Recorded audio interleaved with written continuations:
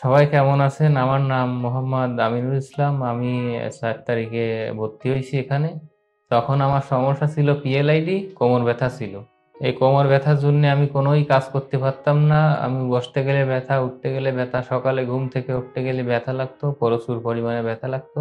আলহামদুলিল্লাহ, আমি আল্লাহর রহমতে সফুল্লাহ স্যারের হসপিটালে ভর্তি হয়ে আমি এখন মোটামুটি সুস্থ আছি। সফুল্লাহ প্রধান স্যারের চিকিৎসা খুবই ভালো। আপনারা চাইলে আসতে পারেন।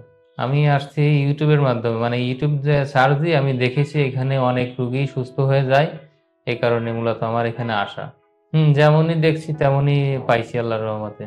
এখানে আপনারা যদি কেউ আসতে চান, আসতে পারেন কোনো সমস্যা নেই, এখানে আপনারা আসলে ইনশাল্লাহ সুস্থ হয়ে যাবে। তো আপনাদের মধ্যে এরকম কোনো রুগী থাকলে আপনারা আসতে পারেন। আমার যে থেরাপি ম্যান ছিল সে খুব ভালো। সে খুব ভালো আর কি থেরাপি দিছে আমাকে সব সময় আমার সাথে সময় দিত থেরাপি দেওয়ার পরেও অনেক সময় দিত আমার সাথে, গল্প করতো।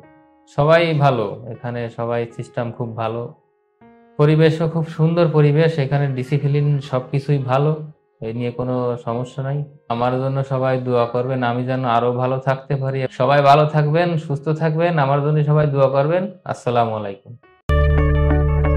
আমরা জানি আপনার প্রিয়জন আপনার জন্য কতটা গুরুত্ব বহন করে। প্রপার ডায়াগনোসিস কনসালটেশন পেইন ও প্যারালাইসিস চিকিৎসা পুনর্বাসন আমাদের সব আয়োজনে সব সময় আপনাদের জন্য চব্বিশ ঘণ্টা খোলা। আমরা চাই না আপনারা বারবার আমাদের কাছে ফিরে আসুন তবুও আমরা আছি সব সময় সর্বদা আপনাদের পাশেই।